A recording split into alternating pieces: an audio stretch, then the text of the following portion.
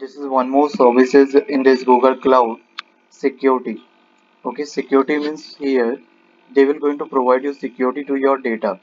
Whatever data you will going to save here whatever project you created whatever project you deployed different kind of security they provide.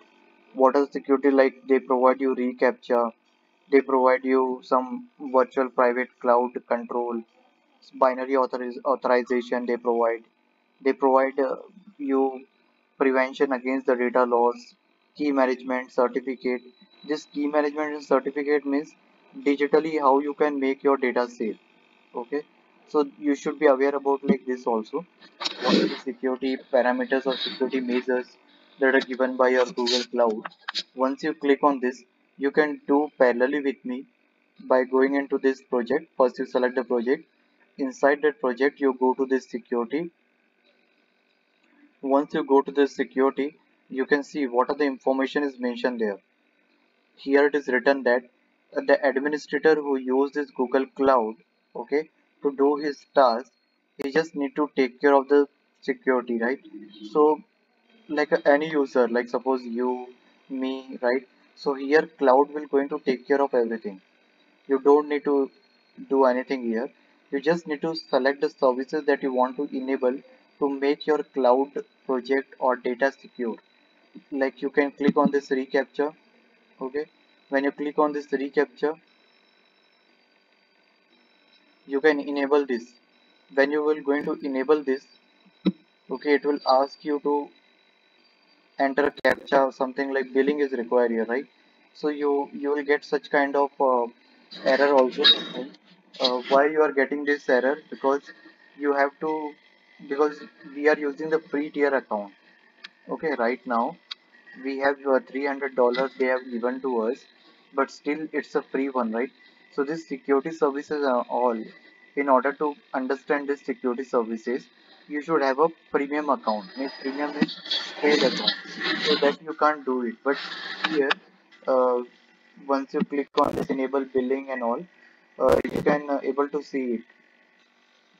But right now I'm not enabling it because this is not a actual project so I'm canceling it. But in case if it is a paid one when you enable this API reCAPTCHA enterprise API this API will going to make any of the application that you deploy on this cloud based on the captcha you might have uh, do online payment right?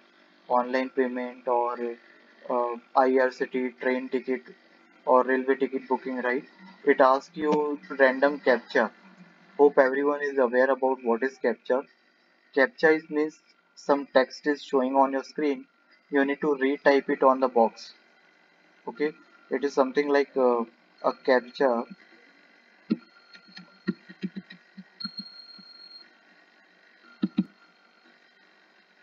It is something like this. Means uh, some text is written on the box and you need to retype it. And once it is matched with this uh, then only it will give you access right?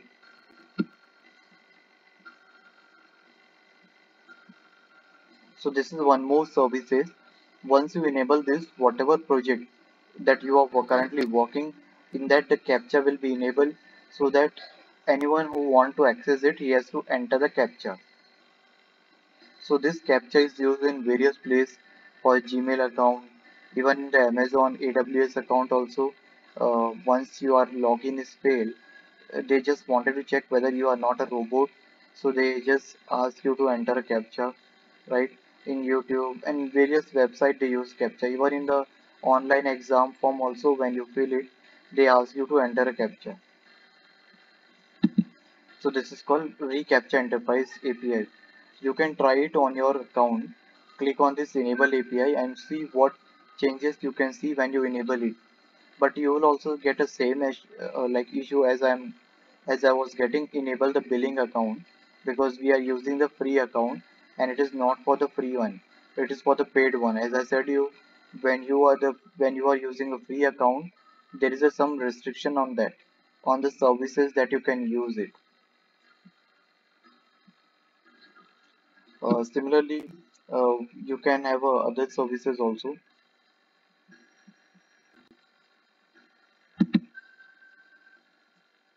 beyond corp enterprise. This is one more uh, api is there. And this api what it will going to do it will going to prevent your application from being accessed unauthorized unauthorized way. Means uh, it will prevent your application from being data loss. And uh, like you don't need a VPN to access it and like there will be no any virus attack or any kind of trojan any kind of malware attack on your project right? So whatever project you are going to install you can click on this start access protection tutorial and you can read it from there also. What is this security? Why i'm telling you this security measures so that when you are going to work on the company on this uh, google cloud or any cloud this security measure unit you should have to take care or they will enable this security measure on your project then you should be enable it a through api or you should be aware knowledge on that how to enable it, how to access it, what is this security measure, why do we need it, right? So that's why I'm telling you what are the security measures on this Google Cloud. So one of this is Beyond Corp Access. In this Beyond Corp Access, uh, in this Beyond Corp Access, they will go into um, like whatever web application, specifically to the web application like your website, whatever you have deployed it, they will prevent it from being unauthorized access. Identity aware proxy. This is one more uh, security measure that is given on this security and uh, this is based on the VM means the virtual box that is running they will prevent your application from being author uh, unauthenticated access. VM means virtual machine, virtual box. Uh, do you know like i have already explained you what is virtual box right? Virtual box in the sense you will going to install one software. In that software you import window library or like a windows software. So virtual box allow you to run multiple operating system on your on your system.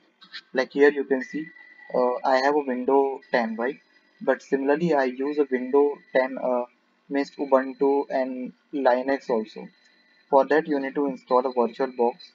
Click here. Uh, I think I have shown you before also. But see this is a virtual box means either this you can install virtual box or you can install VM instance. See VM it is already showing right. This is the same thing VM instance. When you once you click on this VMs, it will take some time to start. You can see this screen right. I am using this Ubuntu. This is window. Outside is my window outside is my window and internally on this virtual box I'm using this Ubuntu operating system. This is the Ubuntu one. In the in the previous session I have already shown you how you can start it. Just click on this and you can start. It's very easy to install a virtual box. Uh, if you might uh, not aware and you want me to help you to install a virtual box, I will explain you in one session how you can do this. It's very simple, not a difficult. So in this way in your system you can run multiple virtual box. Now if you want to run iOS application also click on the file import.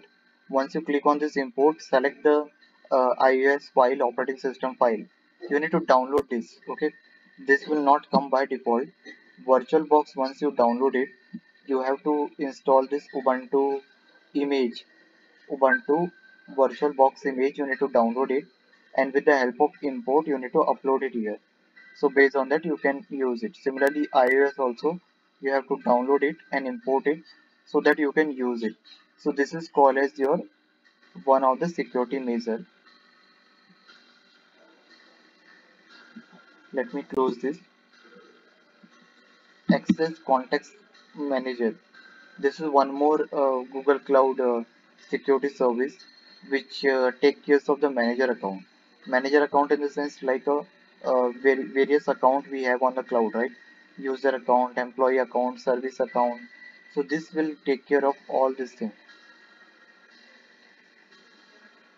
they will prevent your uh, account from being hacked they will prevent your account from being a data loss they will prevent your account from being used unauthentically right so these are the different kind of security measure given by your google cloud platform now you might be asking me like how you know like which to enable, right? This might be a question coming in your mind. Which of the service you should be enable? This service is completely based on that your requirement. Based on your project, your data, you have done work on the Google Cloud. Based on that you need to enable. And in case in company also they enable this service before only so that we can access our code data like securely Similarly, there is a VPC service control, one more uh, kind of uh, VM instance, virtual private cloud based authentication. Binary authorization is one more. In this uh, binary authorization, uh, this binary authorization means here you will going to use some of the engine, Kubernetes engine, or like a policy uh, means some one Kubernetes engine is there, just like a compute engine whose task is uh, to deploy your whole application on the cloud successfully. That's why we use this binary authorization API. Binary authorization API means when both side means the developer and the customer they enable this API, they can access this Google Cloud. Binary means two, right? So when when the destination or when the like a producer like means when the user or when the client both are enable this API they can access this they can access the data or a, uh, like a project. So this is called binary authorization. Uh, there are some other things also there. Like data loss prevention. How you can prevent your data loss from right? How you can prevent the data loss. You just need to enable this.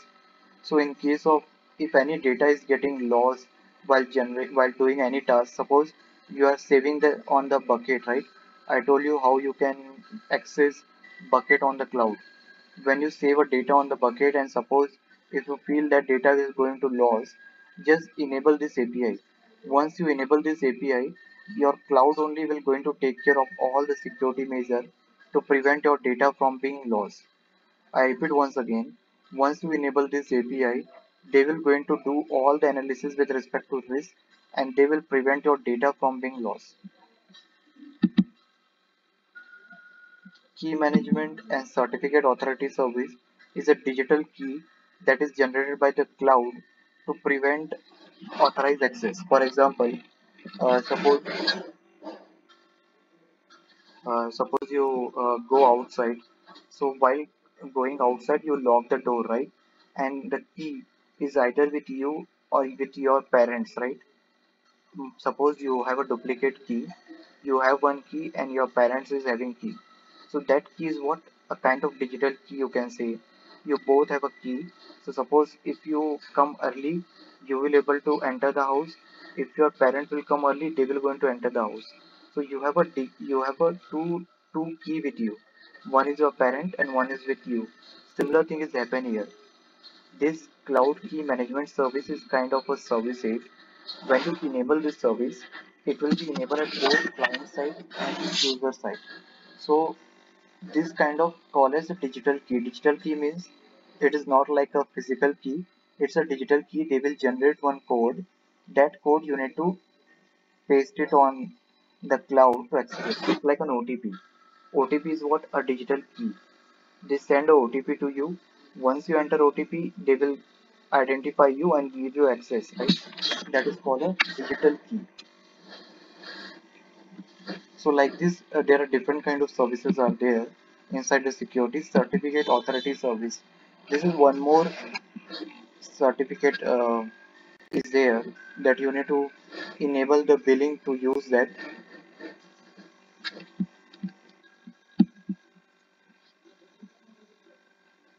So like this, there are different kind of services are there in this Google Cloud so we have seen what are the different kind of security services.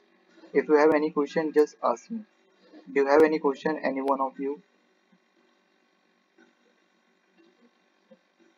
Any one of you having any question?